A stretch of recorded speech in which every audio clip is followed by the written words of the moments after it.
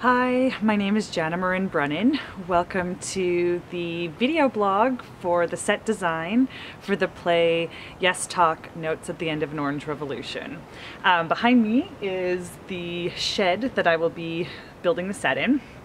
Uh, the set's going to take about three and a half weeks. It's going to be made entirely out of recycled cardboard and I'm really excited to show you how I'm going to make that structural.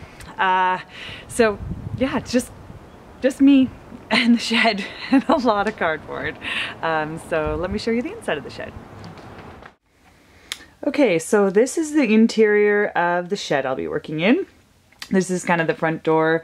It's this bright blue paint. You can't really tell um, because of the light that's coming through the windows, but it's all chipped. It's beautiful. I actually really love it. There's so much character to it. Uh, this is my workbench, work table, uh, space heater, cardboard. I am going to zoom in on something here on my table.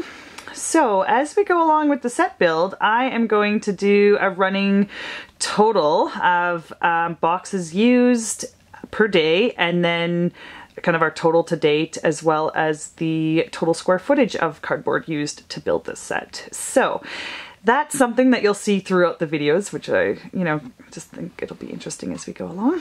Okay, so this is our set, this is our floor plan. Uh, this is seating here, seating here, and seating over here. So in theater, when you have seating on three sides, that's called a thrust stage. Uh, this is our set here. These are platforms on the back, these three squares here. This is our tallest platform, and then these two platforms are a step lower than this platform. This is steps here. This is a back wall that we're going to project onto that's going to be made out of cardboard boxes.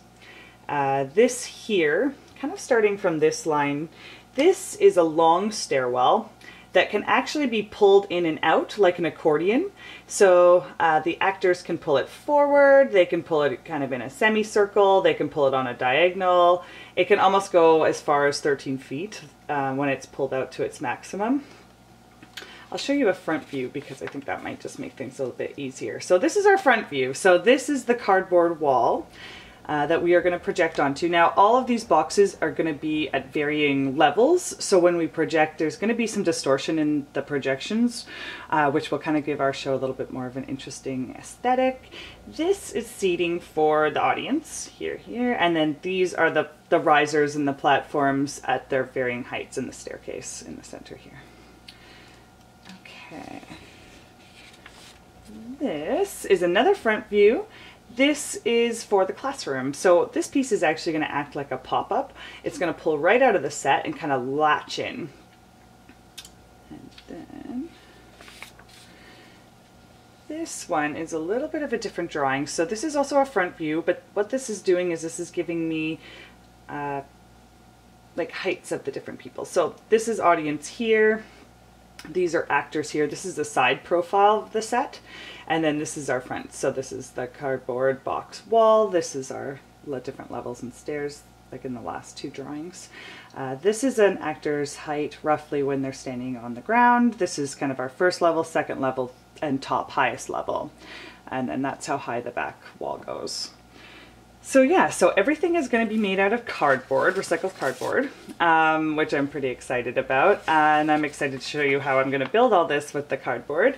And then this, uh, I'm actually I'm really excited for these pieces here. I think they'll be the most challenging of the set build, but also kind of the most interesting to show you how I do them.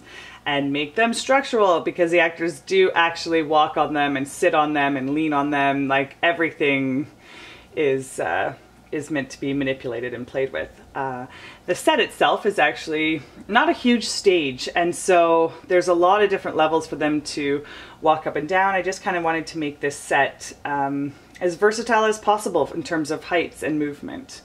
So yeah, so, so that's the set. So there we go. We'll see as we go along for the build.